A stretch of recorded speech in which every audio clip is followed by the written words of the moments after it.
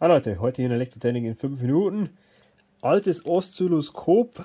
Was muss ich wissen, wenn ich ein altes, so ein analoges, wisst ihr ja noch, hier die mit, mit so einer Elektronenstrahlröhre ähm, bedienen muss.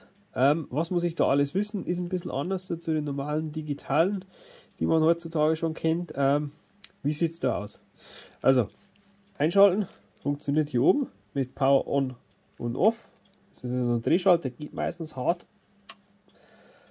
so, dann sieht man nichts. Und das ist eine Besonderheit von den alten Geräten. Äh, da wird einem nicht alles gleich gemacht und da gibt es auch keine Auto-Set-Taste, die alles automatisch macht. Die muss man noch mehr oder weniger Hand anlegen. Ja, also man hat hier zwei Tasten, also zwei Drehregler muss ich sagen, einmal für Intensität und einmal für Fokus. Ähm, Intensität hier mal gucken, ist hier was da? Also da ist sozusagen wie viel, wie viel äh, wird, äh, ja, wie stark wird diese, diese Elektrone hier be, be, beschleunigt, äh, beschleunigt. Also man sieht man hier, ja, leuchtet es heller oder, oder dunkler. Aber warum hier nichts kommt, liegt nicht an der Intensität, sondern an diesem Trigger.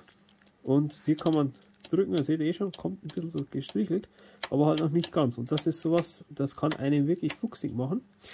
Und hier muss man diesen Trigger, diesen Trigger, den man hier hat, Pull, und da muss man ziehen. Muss man wissen. Sowas kennt man bei den heutigen Oszilloskopen gar nicht mehr. Aber anziehen für eine geheime, so eine geheime Taste und dann ist hier auf einmal was da. So. Dann, also das ist hier so ein Auto, Auto-Trigger-Level. Dann hier oben die Zeit einstellen. Das ist wie beim, ja, wie man es kennt, also das ist hier nichts Besonderes, das kennt man auch von den modernen, da stellt man sozusagen die Zeit ein, wie lange ähm, ja, ein Kästchen gebraucht wird, also die Sweep Time pro Division, also hier pro Kästchen, ist hier was weiß ich, auf 10 Millisekunden.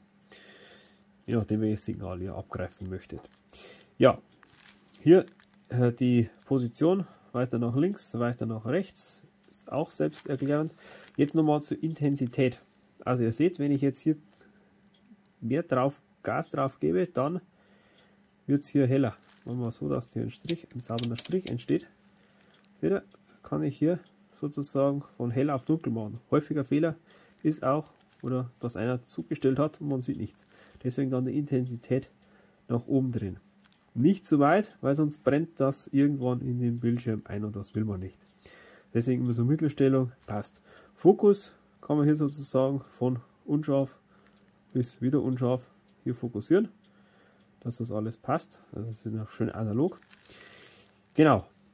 Dann hier unten die Kanäle.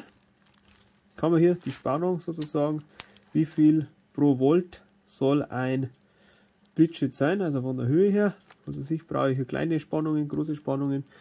Dann hier AC-Kopplung, Ground oder DC-Kopplung. Position nach oben, nach unten kann man machen. Und ja, hier genauso für den zweiten Kanal. Oben runter. So. Das war's im Großen und Ganzen. Genau Tastkopf noch.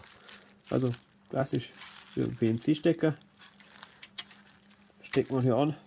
Tastkopf hat man dann entsprechend hier. Kann man so zurück machen. Da kann man hier etwas anhängen. Hier eine Masseleitung. Da ist sie gar nicht mehr dran. Normalerweise sieht das so aus. Hier ist die Masseleitung und dieses Masse-Krokodilklämmchen dann entsprechend heran. Da muss man halt entsprechend einstellen, welche Zeit hat man und so weiter. Ist man hier richtig im Signal drinnen. Und ja, das was zum alten Oszilloskop. Also wenn ihr sowas mal bedient, das ist immer so für die jungen Ingenieure so, ja komm, du kannst durch Elektrotechnik, da kannst du doch hier auch mal schnell was einstellen. Da kennst du dich doch aus. Und man ist ja heutzutage verwöhnt mit der Autoset-Taste. Und ja, auf jeden Fall, so funktioniert das. Hoffe, dieses kurze Video zum historischen Oszilloskop hat euch hier weitergeholfen und wünsche euch noch einen schönen Tag. Macht's gut, tschüss und auf Wiederschauen.